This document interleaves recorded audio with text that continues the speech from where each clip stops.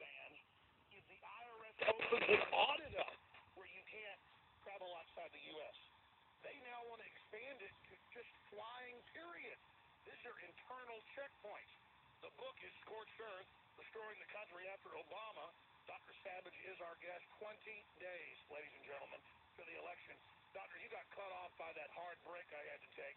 Recapping for folks that just joined us and thousands a second are tuning in.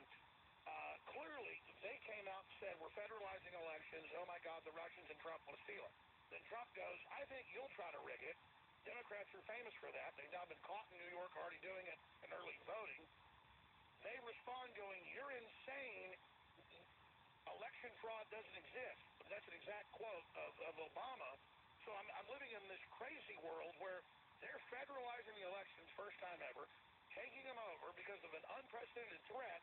When Trump says you might try to steal it, they go, you're insane, it doesn't exist. so, so Dr. Savage, you talked to him yesterday on air. What do you think's happening? I said to Donald, here's what they're doing. They're setting it up as follows. For three, four months, they've been saying the Russians are hacking our elections. They're safe to protect our election, which is sacred. We want to turn it over to DHS. The genius has given us one terrorist attack after another and has done nothing to stop it. He still has his job, right? So he wants to make sure our elections are safe. Russians are hacking. Follow the bouncing ball. No proof. If, if Trump wins, which is highly likely, by the way, which we can talk about in a, in a minute or two or another time. Trump wins, government declares, oh, we have evidence that the Russians hacked it. He's a friend of Putin. The election is null and void.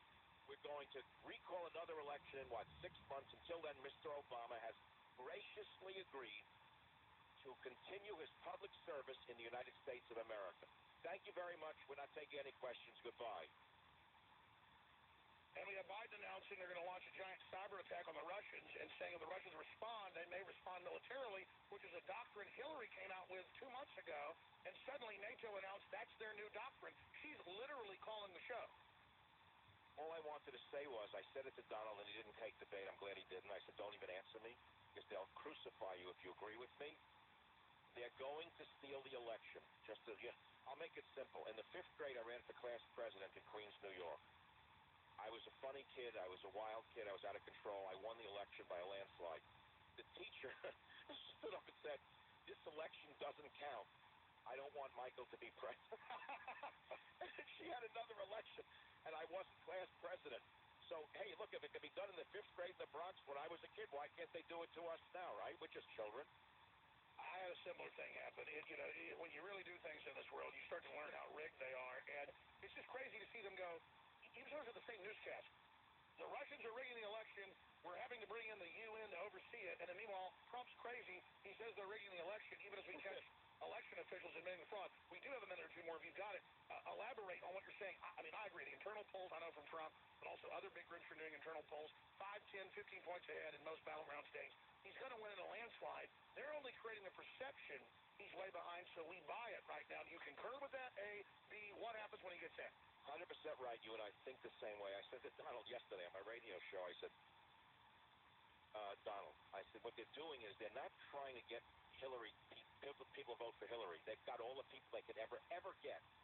I said, what they're trying to do is discourage Trump voters from voting by thinking that it's it's over already. They're trying to make them think that he lost, that she won, so they're going to throw their hands up and not vote for him.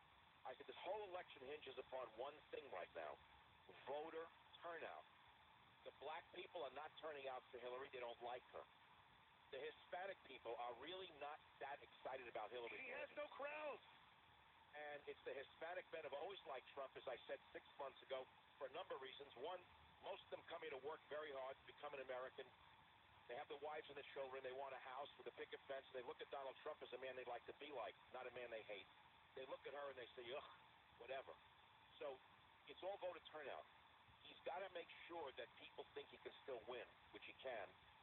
And then if all of us who are supporting him come out, I think he will win. It's that simple. That's right. You can't steal landslides. I've interviewed experts who are Democrats, Republicans, Diebold, engineers from the highest levels